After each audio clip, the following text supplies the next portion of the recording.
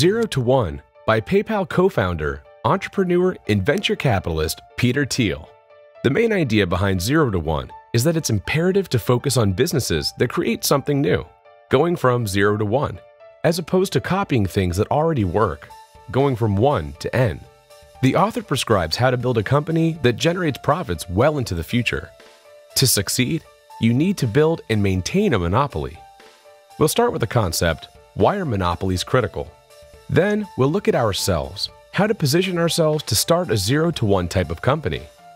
And then we'll shift to the company how can we actually build a monopoly? Finally, how do we protect such a monopoly? First, why a monopoly? The author makes the controversial statement that capitalism and competition are opposites. That's because capitalism is all about generating profits, whereas competition eliminates profits. Competition is all about lower prices and margins.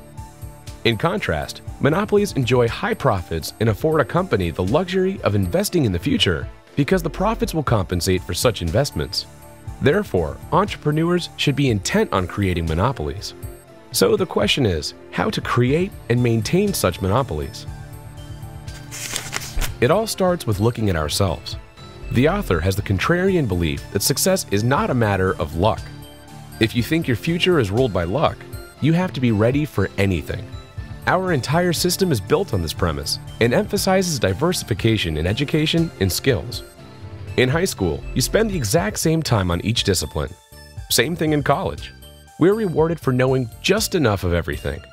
The result? You will be average at everything and really good at nothing. Instead, taking the approach that you can actually shape your own future, you will think very hard about your next steps and take the time to plan ahead.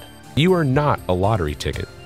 Getting laser focused early on can help you develop standout skills and come up with those 0 to 1 solutions we so desperately need. So, how do you go about building a monopoly? First, develop a 0 to 1 type offering for a niche market and then scale up. You need to come up with a product or service solution that delivers a 10x speed, performance, or convenience benefit over the status quo in order to get noticed and shift consumer behavior. And don't worry about global domination at these early stages. In fact, talking about addressable markets in the billions is a red flag because these markets often lack a good, well defined starting point and they face a lot of competition. Remember, the key to success in value creation is to avoid competition at all costs.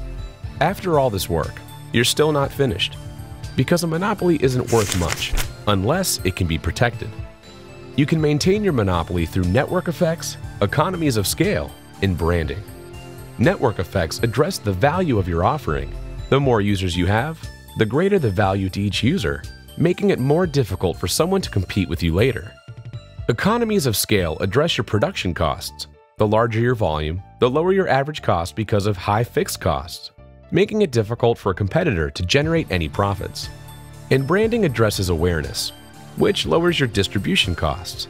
A competitor will need that much more upfront investment in advertising to generate awareness and penetrate your market. The author has three core beliefs that form the backbone of his prescription for success. Globalization is doomed without technological innovation. Capitalism is the opposite of competition, and we can shape our own future.